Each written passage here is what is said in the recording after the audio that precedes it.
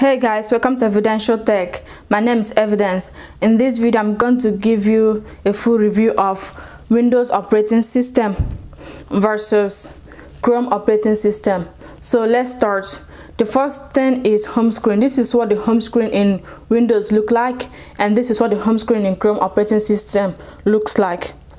So on the home screen, you can add any app that you want to Windows home screen. So for example, I can take um, something like this and just drag it and add it to Windows. But in Chrome, you will not be able to do that. When you click this, let me say there's something like this. Yeah, you can't add you can't add anything to the home screen in Chrome. Let me close this and show you from here. Yes you can't add anything on the home screen of chrome operating system. Um that's one of the things. Next thing is the launcher. In chrome this is what the launcher looks like. When you click this you get a google search bar and then you get a recently used apps. And when you click on this arrow it shows you all the apps that you have and you still have the search bar on top. That's what chrome os launcher looks like Windows Launcher. When you click on this, this is what Windows Launcher looks like. And when you click on this, you see um, extended versions of everything. And let's say you extend this. And of course you can extend this. Let me see here. Let me get it yes and you can um, add things over here if you want to but me i don't like having this here i like having a clean launcher. So you can just close this. And this is what your launcher looks like in Windows operating system. Up next um, is notification and action center. In Windows you have the, these icons here. You can click this arrow for more items. And when you click this you see um, your action center items you see many things. You can see all settings notes network. You can toggle things on and on real easily from the action center. And your notifications appear on top of it. And your clear all buttons on top. But in chrome os you still have um, icons here. And when you click on it when you click on this side this is what you get and this is all that there is. And you can click on each one for more options and when you click this button right here it shuts down. It doesn't ask you if you want to sleep or anything. It just shuts down the computer. And you have your settings your lock button and everything. And next to it is the notifications. And when you click this settings button next to it you can toggle on and off what which applications you want to receive notifications from. And that's it for the launcher. Next up is browser. In chrome os the, the only browser that comes pre-installed is um, Chrome, of course. And with with this, this is the only browser that runs like a desktop in Chrome OS. If you want any other browser other than Chrome, you have to go to the Play Store and download a new browser. But the browser works as a mobile browser, not as a desktop browser. Chrome is the only browser that works as a desktop browser in Chrome OS. In Windows, on the other hand, it comes with Microsoft Edge pre-installed on it. And you can go to the um, web of course to download um, Chrome or to download Mozilla Firefox to download any browser that you want. And any browser that you download in Windows will run as a desktop browser not as a mobile browser.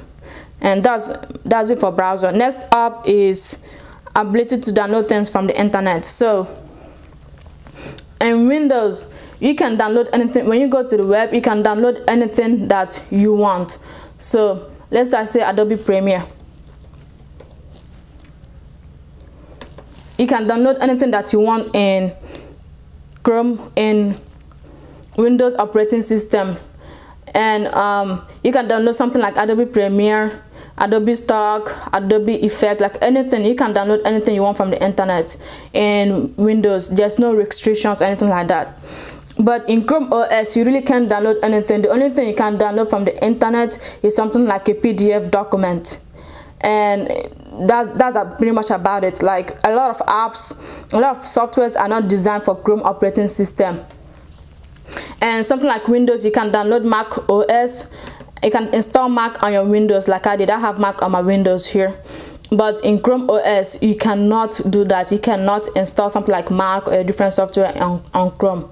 Um that's it for being able to download something from the internet. Next up is software. And in windows you can run any software that you want any software that you can think of. You can run it on windows seriously like any software at all can run on windows. But in chrome the only software it can run is google products google apps google softwares are the only ones it can run. So google softwares anything that you can download from the google play store and things that you can find through extensions. So when you go um, in your web browser you can click on this and click on tools and you can go to um, extensions um, and then when you scroll down you can get more extensions.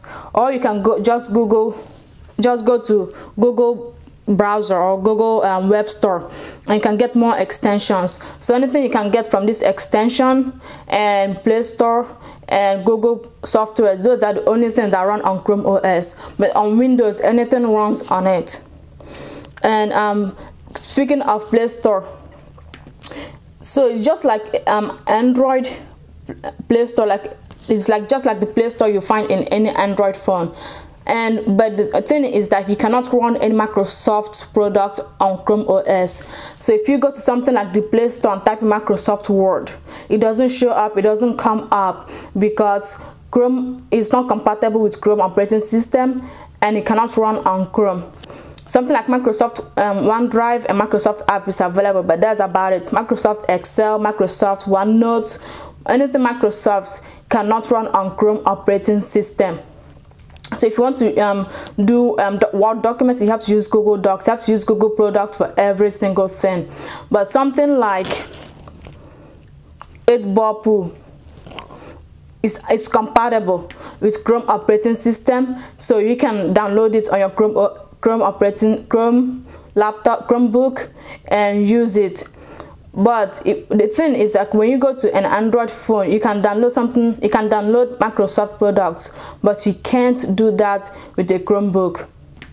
So even the chrome even the um, play store found in a chromebook is very limiting it's very limited to what you can.